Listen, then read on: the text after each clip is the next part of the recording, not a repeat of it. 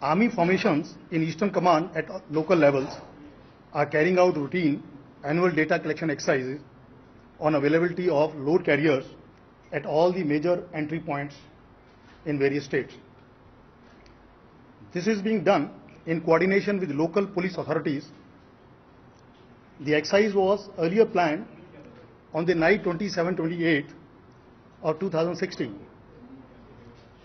The dates were changed to 30th November to 2nd December on a specific request by Kolkata Police due to Bharat Bandh on 28th. The ongoing exercise which is on involves collection of data in all northeastern states including Assam, Arunachal Pradesh, West Bengal, Manipur, Nagaland, Meghalaya, Tripura, Mizoram and Sikkim. More than 80 such collection data points have been established in the entire region.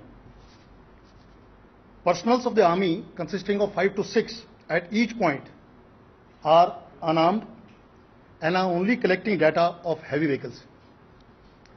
This is an annual exercise carried out every year. A similar exercise in Eastern Command was carried out in 2015 at the same locations from 19 to 21st November 15, that is last year. You may please note also, the similar exercise has also been carried out in Jharkhand, UP and Bihar from 26 September to 1st October this year.